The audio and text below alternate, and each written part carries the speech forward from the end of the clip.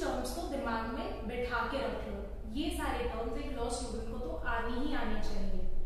सबसे पहला टर्म है वायलेशन वायलेशन का मतलब होता है कोई भी एक ऐसा एक्ट जो आपको लॉ या कोई रूल करने से मना कर रहा है which means breaching any law मतलब वायलेट कर रहे हो। When you violate any law you become liable for that liable मतलब क्या होता है? Responsible you are answerable to it so liability का मतलब होता है taking responsibility of the act that you have done suit मतलब क्या होता है?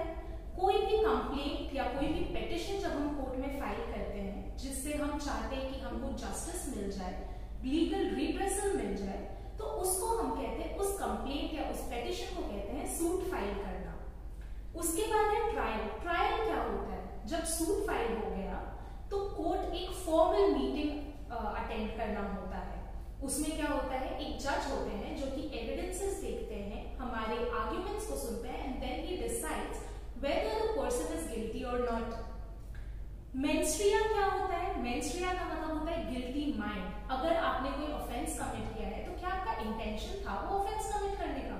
By the way there is a slight difference between the terms intention and motive if you know the difference do comment below next आता है acts जब मेंस्ट्रिया हमने लिया intention है कि नहीं, तब हम देखते हैं कि एक्ट कमिट हुआ है कि नहीं।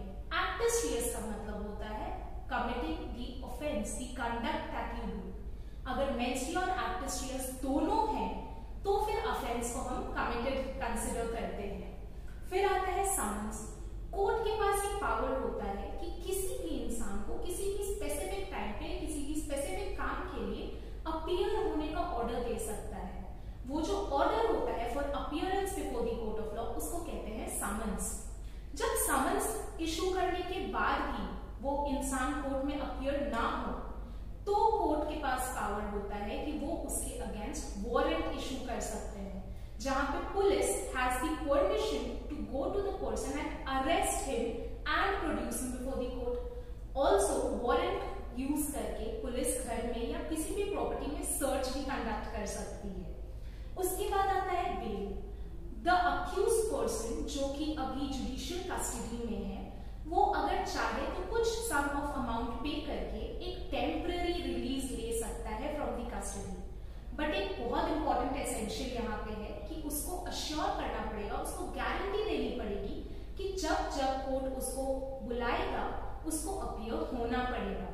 और लास्ट में आता है लिटिगेंस लिटिगेंस होता है कि पार्टीज़ टू दी सूट जिसने केस किया है, जिसके अगेंस्ट केस किया है। अगर लिटिगेंट्स के बारे में या पार्टीज़ टू सूट के बारे में और जानना है कीप वेटिंग क्योंकि इसके बारे में